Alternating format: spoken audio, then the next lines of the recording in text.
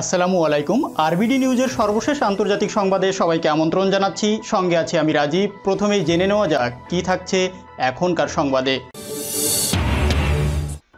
লাদাখে ফের উত্তেজনা, এলাকা দখল নিয়ে পাল্টাপাল্টি অবস্থানে চীন ও ভারত।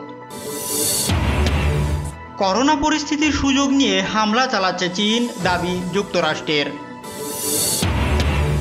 একশত আঠারোটি চীনা অ্যাপ নিষিদ্ধ করার প্রতিবাদে চীনের কড়া হুমকি, ভুল শুধরে নিন। সামান্য পাখির আঘাতেই বিধ্বস্ত ভারতের রাফায়েল যুদ্ধবিমান। সিরিয়ায় সাত সেনাকে হত্যা করল ইসরায়েলি বাহিনী। এবং সর্বশেষ থাকছে, আমেরিকা ইসরায়েলের বিরুদ্ধে ঐক্যবদ্ধ কৌশল ঠিক করতে বৈঠকে বসছে ফিলিস্তিনি সংগঠনগুলো। এতক্ষণ প্রধান প্রধান অংশগুলো শুনলেন এখন বিস্তারিত, তবে তার আগে রিকোয়েস্ট থাকবে ভিডিওটিতে একটি লাইক দিয়ে সাথেই থাকুন। চীনের সঙ্গে সংঘর্ষে ভারতের বিশেষ বাহিনীর এক সদস্য নিহত হওয়ার পর লাদাখ সীমান্তে উত্তেজনা বাড়ছে। সীমান্তে ফের মুখোমুখি অবস্থানে চীনা ও ভারতীয় সেনাবাহিনী। আনন্দবাজার পত্রিকা জানিয়েছে, প্যাংগং লেকের উত্তরে প্রকৃত নিয়ন্ত্রণ রেখায় সেনা বিন্যাসে কিছু পরিবর্তন ঘটিয়েছে ভারত। এছাড়া লেকের দক্ষিণ প্রান্তের একাধিক স্থানে বাড়তি সেনা মোতায়েন করা হয়েছে। ভারতীয় প্রতিরক্ষা মন্ত্রণালয় জানিয়েছে, গত শনিবার চীনা সেনাবাহিনী বিনা প্ররোচনায় প্যাংগং লেকের দক্ষিণ প্রান্তের স্থিতি অবস্থা বদলে দেওয়ার চেষ্টা করছিল। গতরাতেও তারা প্রকৃত নিয়ন্ত্রণ রেখায় ভারতের দিকে চুমার এলাকায় অনুপ্রবেশের চেষ্টা করে। চীনা সেনাদের লাগাতার এমন চেষ্টার পরিপ্রেক্ষিতেই প্যাংগং লেকের উত্তর ও দক্ষিণ প্রান্তে সেনা বিন্যাস বদল ঘটালো ভারত। সেনাবাহিনীর এমন অবস্থান বদলে জল্পনা ছড়ায় প্যাংগং লেকের উত্তর ঘেঁষে থাকা ফিঙ্গার ফোরের দখল নিয়েছে ভারতীয় সেনা। পরে সেনা সূত্র জানানো হয়, ফিঙ্গার ফোরের দখল নেওয়া নিয়ে যে জল্পনা ছড়িয়েছে তা ঠিক নয়। তবে সতর্কতামূলক পদক্ষেপ হিসাবে প্যাংগং লেকের উত্তর প্রান্তে প্রকৃত নিয়ন্ত্রণ রেখায় সেনা বিন্যাসে কিছু পরিবর্তন আনা হয়েছে। সেনা সূত্রে জানানো হয়েছে, প্যাংগং লেকের উত্তর প্রান্তের পরে গত দুই দিনে দক্ষিণ প্রান্তে চীনা সেনাদের জমি দখলের চেষ্টা করতে দেখায় রেজলাং এবং রেচিংলা এলাকায় অতিরিক্ত সেনা মোতায়েন করেছে ভারত। এছাড়া চুশুলের কাছে চীনা সেনাদের মুখোমুখি টি নাইনটিন ট্যাঙ্কও নিয়ে অবস্থান নিয়েছে ভারতীয় সেনাবাহিনী। সুযোগের সদ্য ব্যবহার করছে চীন। করোনা পরিস্থিতিতে যখন বিশ্বের প্রায় সব দেশ জবুত হবু তখন তার ফয়দা লুটছে বেইজিং। ভারতও যে চীনের লোলাপু শিকারে বাদ পড়েনি। বুধবার একথা জানিয়েছেন মার্কিন কূটনৈতিক ডেভিড স্টোয়েল। ডেভিড স্টোয়েল হলেন পম্পেওর মন্ত্রণালয়, পূর্ব এশিয়া এবং প্রশান্ত মহাসাগরীয় অঞ্চলের অ্যাসিস্ট্যান্ট সেক্রেটারি। পঁয়ত্রিশ বছর মার্কিন বিমান বাহিনীতে কর্মরত ছিলেন। দুই হাজার এগারো থেকে ১৩ সাল নাগাদ চীনের মার্কিন দূতাবাসের প্রতিরক্ষা সংক্রান্ত পরামর্শদাতা হিসাবেও কাজ করেছেন তিনি। তাই চীনের অগ্রাসন নীতি সম্পর্কে বেশ অবগত তিনি। দক্ষিণ পূর্ব এশিয়ার দেশগুলোর উপর চীনের দাদাগিরি নিয়ে কটাক্ষ করে স্টেলথ ওয়েলথ বলেন, করোনা পরিস্থিতির সুযোগ নিচ্ছে চীন। ভারত ও চীনের বিবাদ তার অন্যতম উদাহরণ। গত উনত্রিশে আগস্ট রাতে চীনা সেনা অতর্কিতভাবে ভারতীয় ভূখণ্ডে ঢোকার যে প্রচেষ্টা চালায় তারপর থেকেই নতুন করে লাদাখে প্রকৃত নিয়ন্ত্রণ রেখায় উত্তেজনা দেখা দিয়েছে।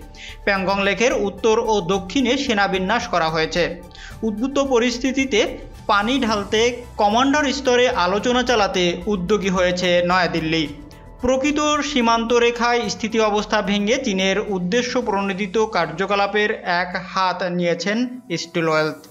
তার অভিযোগ, এভাবেই প্রতিবেশী দেশগুলোর উপর করোনা পরিস্থিতির সুযোগ নিয়ে চাপ সৃষ্টি করছে চীন। কয়েকদিন আগে চীনের এই কার্যকলাপ নিয়ে সরব হয়েছিলেন মার্কিন state of secretary Mike Pompeo. শান্তিপূর্ণভাবে আলোচনা করে পরিস্থিতি নিয়ন্ত্রণে আনার বার্তা দেন তিনি। ভারতের তৃতীয় ডিজিটাল স্ট্রাইকেরও প্রতিবাদ জানালো চীন। বুধবার তৃতীয় দফায় ভারতে পাবজি সহ একশো আঠারোটি অ্যাপ নিষিদ্ধ ঘোষণার পরের দিনই চীনা বাণিজ্য মন্ত্রণালয়ের প্রতিবাদ জানিয়ে বলেছেন, এই সিদ্ধান্ত চীনের ব্যবসায়ীদের আইনি অধিকার খর্ব করছে। সিদ্ধান্ত বদলে সংশোধনের অনুরোধও জানিয়েছেন চীনা বাণিজ্য মন্ত্রণালয়ের মুখপাত্র গাও ফ্যাং।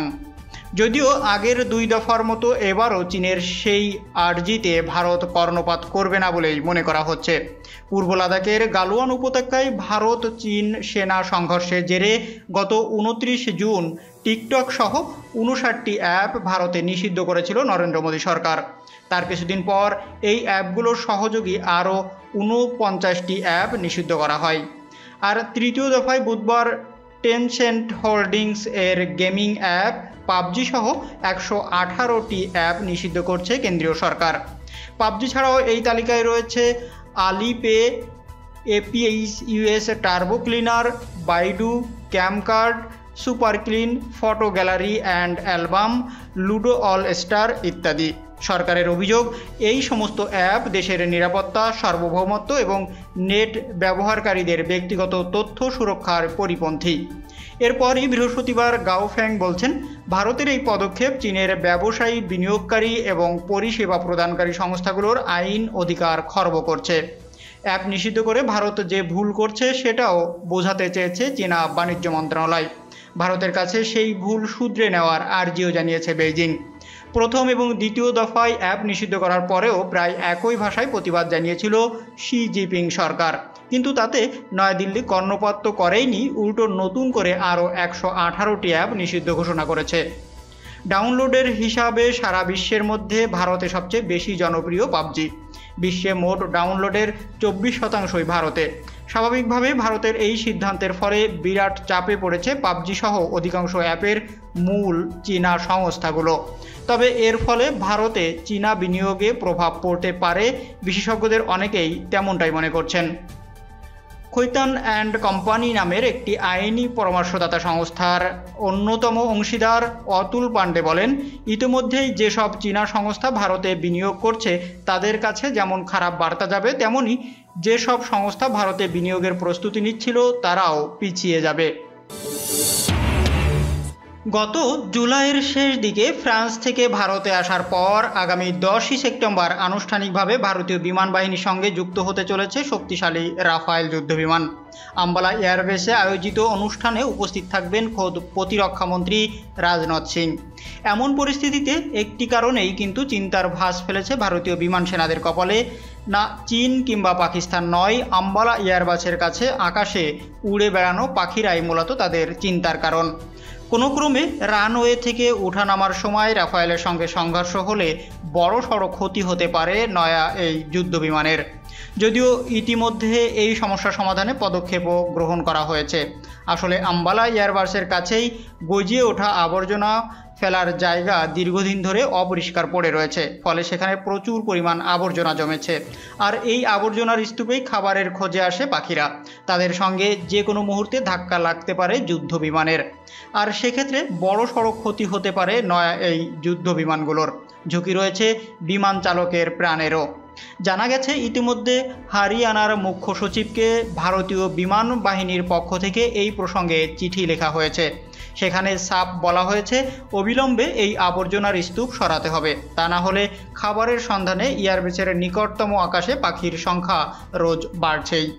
এর ফলে এয়ারবেসে থাকা যুদ্ধবিমানগুলো ওঠানামায় সমস্যা হচ্ছে। এতে যে কোনো মুহূর্তে দুর্ঘটনা ঘটতে পারে। ক্ষতি হতে পারে সদ্য কেনা দামি রাফায়েল বিমানেরও। এমনকি ঝুঁকি থাকছে পাইলটেরও। তাই যত দ্রুত সম্ভব ওই এলাকা থেকে আবর্জনা সরাতে হবে। এছাড়া খেয়াল রাখতে হবে এয়ারবেচের দশ কিলোমিটার এলাকায় আকাশে যেন কোনোভাবেই পাখিদের বারো বারান্ত না দেখা যায়। সেদিকে বিশেষ খেয়াল রাখতে হবে স্থানীয় মিউনিসিপ্যাল কর্পোরেশনকে। মধ্যপ্রাচ্যের যুদ্ধবিধ্বস্ত রাষ্ট্র সিরিয়ার মধ্য অঞ্চলীয় হোমস প্রদেশের টি ফোর বিমানঘাটির উপর নতুন করে ক্ষেপণাস্ত্র হামলা চালিয়েছে ইহুদিবাদী দখলদার রাষ্ট্র ইসরায়েল। সিরিয়ার রাষ্ট্রীয় বার্তা সংস্থা সানা জানিয়েছে, বুধবার স্থানীয় সময় রাত দশটা তেইশ মিনিটে দেশটির দক্ষিণাঞ্চলীয় আল তানব এলাকা থেকে টি ফোর বিমানঘাটি লক্ষ্য করে ক্ষেপণাস্ত্র হামলা চালানো হয়। সামরিক সূত্রের বরাতে প্রতিবেদনে বলা হয়, সিরিয়ার বিমান প্রতিরক্ষা বাহিনী ইসরায়েলিদের অধিকাংশ ক্ষেপণাস্ত্রকে ভূপাতিত করতে সক্ষম হয়। যদিও এতে সাতজন সিরীয় সেনার প্রাণহানিসহ বস্তুগত কিছু ক্ষয়ক্ষতির ঘটনা ঘটেছে। এর দুই দিন আগে দখলদার ইসরায়েলি বাহিনী সিরিয়ার রাজধানী দামেস্কের দক্ষিণে একটি সামরিক স্থাপনা লক্ষ্য করে হামলা চালায়। ভয়ঙ্কর সেই হামলায় দুই সেনা নিহত এবং সাতজন আহত হন। গত সোমবারের সেই হামলা অধিকৃত গ্লোন মালভূমি থেকে পরিচালনা করে ইসরায়েলি বাহিনী। দুই হাজার এগারো সাল থেকে সিরিয়ায় বিদেশি মদতপুষ্ট উগ্র সন্ত্রাসীদের সহিংসতা মোকাবেলা করে আসছে। সিরিয়া সরকার বলছে, এইসব উগ্র তাকফিরি সন্ত্রাসীদেরকে আমেরিকা ও ইসরায়েল সব ধরনের সহযোগিতা দিচ্ছে। এখন তাদের পতন ঠেকাতে ইসরায়েল, সিরিয়ার সেনাবাহিনী এবং সামরিক স্থাপনার উপর মাঝে মধ্যেই হামলা চালিয়ে সন্ত্রাসীদের মনোবল চাঙ্গা রাখার চেষ্টা করছে। ইহুদিবাদী ইসরায়েল এবং আমেরিকার ষড়যন্ত্র ব্যর্থ করার জন্য ঐক্যবদ্ধ কৌশল ঠিক করতে ফিলিস্তিনের সব রাজনৈতিক দল ও সংগঠন বৈঠকে বসতে যাচ্ছেন। দখলদার ইসরায়েলের সঙ্গে সংযুক্ত আরব আমিরাত বিশ্বাসঘাতকতামূলক সম্পর্ক প্রতিষ্ঠার পর ফিলিস্তিনি সংগঠনগুলো এই উদ্যোগ নিল। বৃহস্পতিবার অনলাইনের মাধ্যমে এই বৈঠক অনুষ্ঠানের কথা রয়েছে। বৈঠকে সভাপতিত্ব করবেন ফিলিস্তিনের স্বশাসন কর্তৃপক্ষের প্রেসিডেন্ট মাহমুদ আব্বাস। দুই হাজার তেরো সালের পর এই প্রথম এই ধরনের বৈঠক হতে যাচ্ছে। অধিকৃত পশ্চিম তীরে যে সমস্ত সংগঠন সক্রিয় রয়েছে, তাদের নেতাদেরকে বৈঠকের জন্য রামাল্লায় মোহাম্মদ আব্বাজের কার্যালয়ে আমন্ত্রণ জানানো হয়েছে। আর বিদেশে অবস্থানরত ফিলিস্তিনি নেতাদেরকে লেবাননের রাজধানী বৈরুতে ফিলিস্তিনি দূতাবাসে আমন্ত্রণ জানানো হয়েছে। বৈঠকের শুরুতে প্রেসিডেন্ট আব্বাস ভিডিও কনফারেন্সের মাধ্যমে বক্তৃতা দেবেন।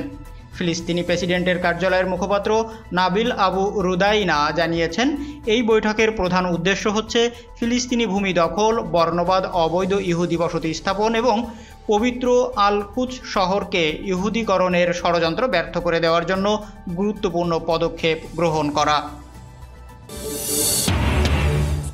ভিডিওটি যদি ভালো লাগে, অবশ্যই লাইক করবেন এবং কমেন্টস করে জানিয়ে দিবেন এই সকল বিষয়ের উপর আপনার মূল্যবান মতামত। আর অবশ্যই আপনার পরিবার ও বন্ধুবান্ধবের ভিতর ভিডিওটি শেয়ার করে দেবেন। আল্লাহ হাফেজ।